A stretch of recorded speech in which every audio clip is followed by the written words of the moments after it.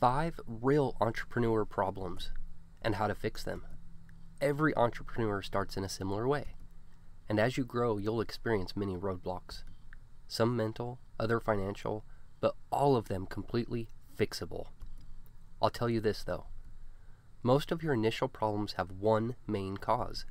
After a while, you'll get over them and start experiencing these five real entrepreneur problems. If you don't learn how to spot these and overcome them, you'll never bypass your current place in business. If you're making 1000 a month, you'll stay there. If you're making $10,000 a month, you'll stay there too. This daily shortcut episode will teach you how to be a more resilient entrepreneur and overcome these problems so that you can step up to your next level as an entrepreneur. Watch now overcoming real entrepreneur problems by clicking the link below. My name is Jeff Burchell, and I'll see you there.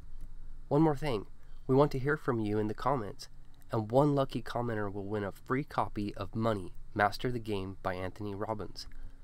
Watch and leave a comment by clicking the link below now.